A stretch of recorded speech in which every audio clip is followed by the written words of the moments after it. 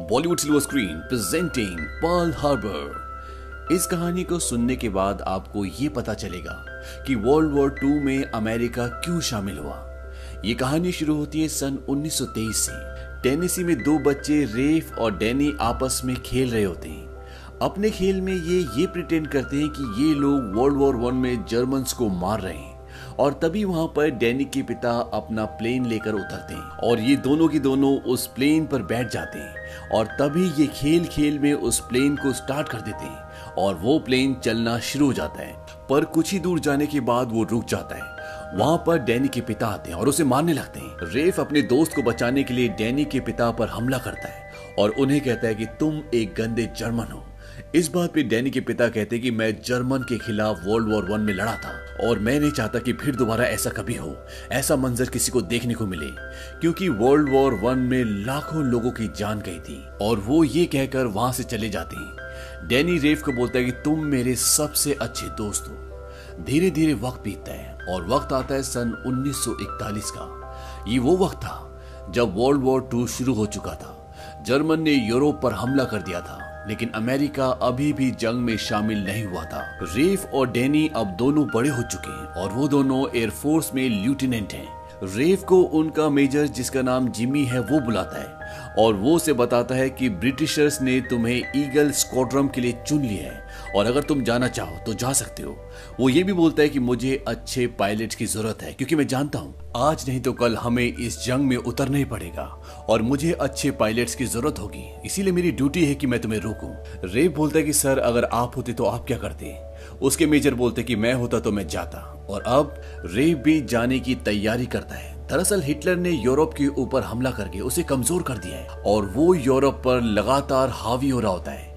इसीलिए British American pilots की मदद चाहते हैं। अब जब डैनी को पता चलता है कि रेफ ब्रिटेन के लिए लड़ने के लिए वॉर में जा रहा है तो उसे बहुत दुख होता है। क्योंकि वो जानता है कि वॉर में जाना बहुत खतरनाक है। रेप बोलता है कि मैं बहुत जल्दी 25 का हो जाऊँगा और उसके बाद ये मुझे फ़्लाइट इंस्ट्रक्टर बना के रख देंगे और मैं एक फाइटर बनना चाहता हूँ। इसीलिए मुझे जाना होगा। और रेफ अब मेडिकल टेस्ट के लिए जाता है, जो वॉर में जाने से पहले होता है। इसमें आई चेकअप और बहुत तरह के अलग अलग चेकअप होते हैं। रेफ को डिसलेक्सिया की प्रॉब्लम होती है, जिसमें पढ़ने में तकलीफ़ होती है। और जब वो अपने आई चेकअप के लिए जाता है तो वहाँ पर एक नर्स होती है, जिसका नाम एवलिन होता है। और वो समझ जाती है कि इसे पढ़ने में प्रॉब्लम है। वो बोलते कि हमें 2020 आई विजन की ज़रूरत है और तुम्हें मैं पास नहीं कर सकती। रेप बोलता है कि मुझे सिर्फ़ पढ़ने में प्रॉब्लम है। मैं भागते हुए खरगोश पर भी निशाना लगा सकता हूँ और उसका जुनून देखकर एवलिन उसे मेडिकल टेस्ट में पास कर देती है। रेफ को एवलिन से प्यार हो जाता है और उसे अपने प्यार का इजहार करता है और अब ये दोनों एक दूसरे से प्यार करते हैं। एवलिन रेफ को कहती है, पता नहीं, पर्ल हर्बर पे क्या होगा? रेफ एवलिन को बताता है कि मैं कल जंग पर जा रहा हूँ। मैं ब्रिटेन की तरफ़ से लड़ूँगा। इस बात से एवलिन शॉक्ड होती है, क्योंकि उसे अभी तक नहीं पता था कि वो जंग पर जाने वाला है। एवलिन बोलती कि वो तुम्हें जंग पर कैसे बुला सकते हैं? रेफ कहता है कि ये मेरा फैसला था, अगर मैं चाहता तो रुक भी सकता था, लेकिन मैं जाना चाहता हूँ। मेरी पूरी ज़िंदगी इसी पल के लिए इंतज़ार कर रही थी। मैं लड़ना चाहता हूँ, मैं एक फाइटर बनना चाहता हूँ। और रेफ जंग पर चला जाता है। वहीं अमेरिका के प्रेसिडेंट कहते हैं कि कब तक हम ये ढूंढ करते रहेंगे कि वर्ल्ड वॉर टू नहीं हो रहा। दरअसल वो चाहते हैं कि वो भी वर्ल्ड वॉर में हिस्सा ले। वो अपने पड़ोसी देशों की मदद करें, लेकिन उनकी बाकी की टीम इस बात से सहमत नहीं होती। वो कहते हैं कि दुश्मन टैंक बना रहा है, वो बम बना रहा है, और हम यहाँ पर रेफ्रिजरेटर बना रहे हैं। हम चाहे कितनी भी कोशिश कर ले, हम वॉर को नहीं रोक सकते। वहीं दूसरी तरफ़ जापान अमेरिका से परेशान है, क्योंकि उन्होंने उनकी तेल की सप्लाई रोक दी होती है। और जापान को तेल की ज़रूरत है। जापान के पास सिर्फ़ इतना ही तेल है जो 18 महीने तक चल सकता है। जापान के नेता बोलते हैं कि हमें अमेरिका पे हमला करना होगा, और ये हमला अचानक होगा। हम उनके पैसिफिक फ्लीट को पूरी तरह से उड़ा देंगे। उनका पर्ल हार्बर पूरी तरह से बर्बाद कर देंगे। वहीं अब रेफ जंग में अपना प्लेन उड़ाता है। वो कई दुश्मन के जहाजों को गिराता भी है और साथ ही साथ वो एवलिन को लेटर्स भी लिखता है। इन दोनों के बीच में बहुत प्यार है। रेफ उसे ये भी बताता है कि यहाँ पर हर कदम पर खतरा है। परसों जिन दो पायलट्स के साथ मैंने बियर पी थी, आज वो इस दुनिया में नहीं रहे। और रेफ के साथ भी ऐसे ही होता है। अगले दिन जब वो जंग में जाता है तो दुश्मन उसके प्लेन पर कई गोलियाँ मारते हैं और उसका प्लेन पानी में समंदर में कहीं खो जाता है। और सब ये मान लेते हैं कि वो अब मर चुका है। और एवलिन को ये खबर देने के लिए रेफ का दोस्त डैनी जाता है। क्योंकि रेफ ने अपने दोस्त डैनी से जाने से पहले कहा था कि अगर मुझे कुछ हो जाए तो ये खबर तुम एवलिन को देना, ताकि उस पल में उसका दोस्त उसे संभाल ले। उसकी मौत की खबर सुनकर एवलिन पूरी तरह से टूट जाती है, लेकिन धीरे धीरे वक्त गुजरने के साथ यादें धुंधली पड़ना शुरू हो जाती है। और एवलिन के दोस्त उसे बोलते हैं कि तुम्हें आगे बढ़ना होगा। साथ ही साथ रेव का दोस्त डैनी एवलिन को पसंद करता है। वो उसकी ज़िंदगी में शामिल होना चाहता है और एवलिन को भी अपनी ज़िंदगी में आगे बढ़ना पड़ेगा। इसीलिए ये दोनों एक दूसरे के करीब आ जाते हैं और इन दोनों को एक दूसरे से प्यार हो जाता है। वहीं दूसरी तरफ़ जापान अब अमेरिका पर, यानी कि पर्ल हार्बर पर अटैक करने की पूरी तैयारी कर रहा होता है। वो हर तरह से पर्ल हार्बर की इंफॉर्मेशन कलेक्ट कर लेता है, वहाँ के फोटोग्राफ्स लेता है, और उन्हें पता होता है कि वहाँ पर कौन सा शिप कहाँ पर है। और साथ ही साथ वो रेडियो पे गलत मैसेज भेज रहा होता है, ताकि अमेरिका को पूरी तरह से गुमराह किया जा सके। और जैपनीज का जहाजों का झंड जिसे फ्लीट कहा जाता है, वो भी समंदर में कहीं गायब हो चुका होता है। जो अमेरिका के रडार में बिल्कुल भी नहीं आ रहा था। इस बात से अमेरिका चिंतित होता है। उन्हें पता तो है कि जैपनीज कुछ ना कुछ करने की प्लानिंग कर रहे हैं, लेकिन उन्हें इस बात का अंदेशा नहीं होता कि वो पर्ल हार्बर पर अटैक करने का प्लान कर चुके हैं। वहीं 6 दिसंबर की रात को एक दिन एवलिन के सामने रेफ आ जाता है। रेफ अभी भी ज़िंदा होता है और उसे देखकर एवलिन बहुत रोती है, बहुत इमोशनल हो जाती है। वो कहते कि मुझे लगा कि तुम अब इस दुनिया में नहीं रहे। हमें ऐसी खबर मिली थी रेफ बोलता कि हाँ मेरा जहाज़ पानी में गिर गया था और मुझे फ्रेंच के मछुआरों की एक शिप ने बचाया। उसके बाद मैं फ्रांस में था, वहाँ से मैं कांटेक्ट नहीं कर पाया। लेकिन मैं हर पल तुम्हें याद करता था, तुमसे मिलना चाहता था और आज मैं तुम्हारे सामने हूँ। यहाँ पे एवलिन उसे बता देती है कि अब वो और डैनी एक साथ है। इस बात से रेफ को बहुत दुख होता है। वहाँ पर डैनी भी आता है, लेकिन रेफ उससे बात नहीं करता। उसी शाम को रेफ के आने की खुशी में उसके दोस्त जश्न मनाते हैं और वहाँ पर डैनी भी आता है और इन दोनों के बीच में अब लड़ाई होना शुरू हो जाती है। क्योंकि रेव को लगता है कि डैनी ने उसको धोखा दिया है। हालाँकि डैनी रेव को मनाने की, उसे समझाने की कोशिश करता है कि तुम्हारी मौत की वजह से हम दोनों बहुत दुख में थे और धीरे धीरे चीज़ें बदल गई। हम एक दूसरे के करीब आ गए। इसमें किसी की कोई गलती नहीं है। लेकिन रेफ उसकी कोई भी बात सुनने के लिए तैयार नहीं है। उसे लगता है कि उसके दोस्त ने उसे धोखा दिया है और इसीलिए इन दोनों के बीच में बहुत लड़ाई होती है और आपस में लड़ने के बाद ये दोनों गाड़ी में बैठकर बातें भी करते हैं। डैनी बोलता है कि सब कुछ ठीक हो जाएगा। रे बोलता है कि मुझे नहीं लगता कि अब हमारे बीच में कुछ भी ठीक हो सकता है। और ये रात को उसी गाड़ी में सो जाते हैं। वहीं दूसरी तरफ़ ये भी दिखाया जाता है कि अमेरिका को अब पता है कि जापान उन पर हमला करने वाला है, क्योंकि उन्हें बहुत सारे मैसेजेस मिल रहे होते हैं, जिन्हें अमेरिकन डिकोड कर रहे होते हैं। लेकिन अमेरिकन को ये नहीं पता कि जैपनीज कहाँ पर हमला करने वाले हैं। जैपनीज का प्लान होता है कि वो सुबह सुबह पर्ल हार्बर के उनके पैसिफिक फ्लीट पर हमला करके उसे पूरी तरह से तबाह कर देंगे और अमेरिका को हैरान कर देंगे। इसीलिए वो पहाड़ों से भी नीचे अपने प्लेन्स को उड़ाकर वहाँ तक लेकर आते और वो पर्ल हार्बर पर हमला कर देते हैं।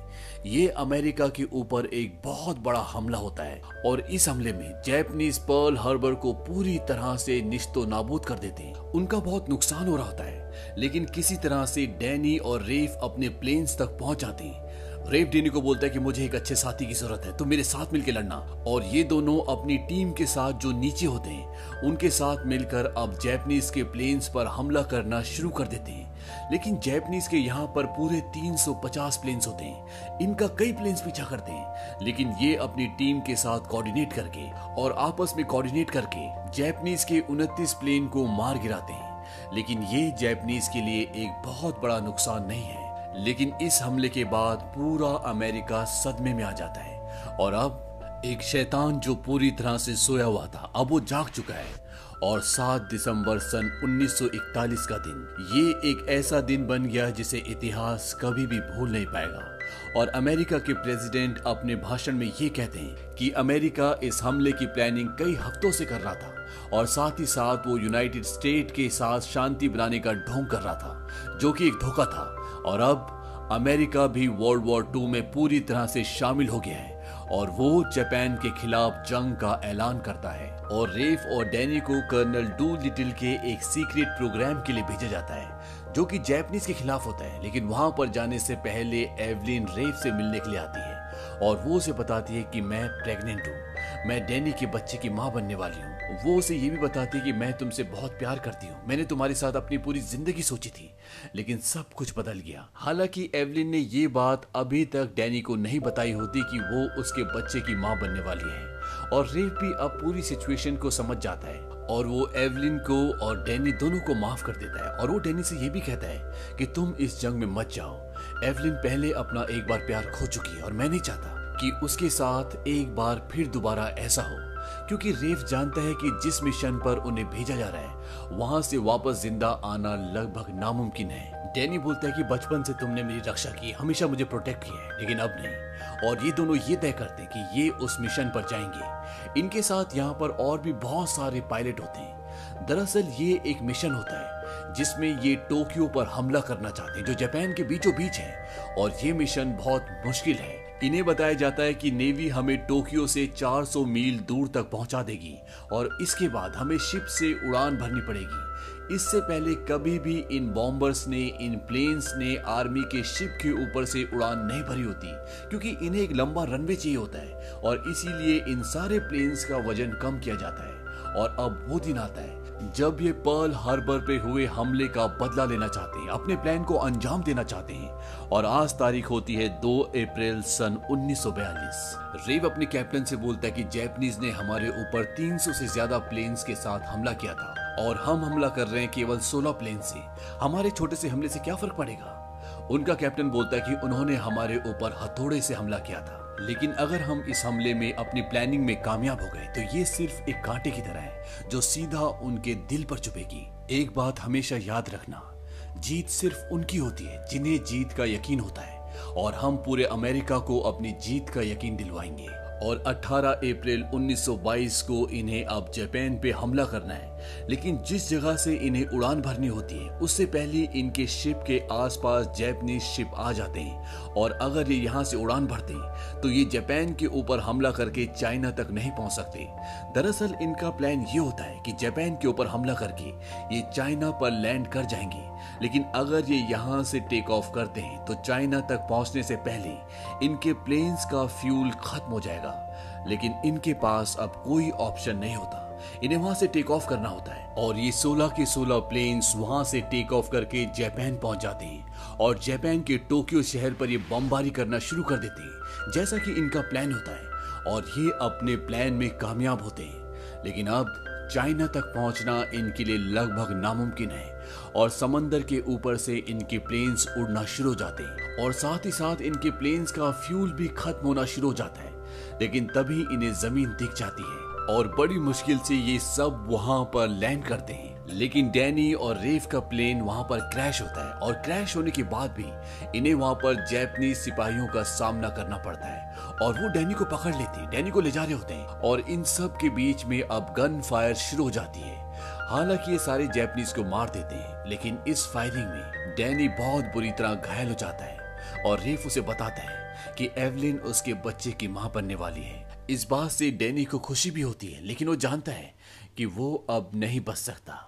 वो रेफ की गोद में अपनी ज़िंदगी की आखिरी साँसें ले रहा है और वो बोलता है कि वो बच्चा अब तुम्हारा है और डैनी इसके बाद शहीद हो जाता है।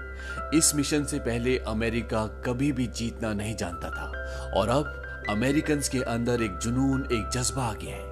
जीत का जज्बा।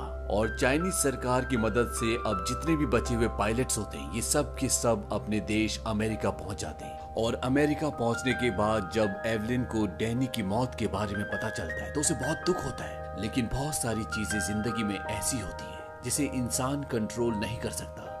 मौत भी उनमें से एक ऐसी चीज़ है। इन सभी पायलट्स को बहुत सम्मान दिया जाता है। क्योंकि इन्होंने अपने देश अमेरिका के लिए वो किया होता है जो शायद आज से पहले कभी किसी ने नहीं किया। और अंत में रेव और एवलिन दोनों शादी कर लेते हैं। और इनका बच्चा भी होता है, जो कि डैनी का बच्चा है। और उसका नाम भी वो डैनी रखते हैं। और रेव डैनी को उसी प्लेन में अपने साथ हवा में ले जाता है, जिसे बचपन में रेफ और डैनी ने एक बार गलती से चला दिया था। और इस तरह से इनकी कहानी, इनकी ज़िंदगी अब आगे बढ़ती है। जापान ने जो लड़ाई 7 दिसंबर सन 1941 को पर्ल हार्बर पे अटैक करके शुरू की थी, वो लड़ाई खत्म हुई सन 1945 को 6 अगस्त सन 1945 को, अमेरिका ने हिरोशिमा पर एटम बम फेंका और 9 अगस्त सन 1945 को नागासाकी में। इस पूरे हमले में साढ़े तीन लाख लोगों से ज़्यादा की जान गई और इसके बाद जापान ने अमेरिका के आगे घुटने टेक दिए।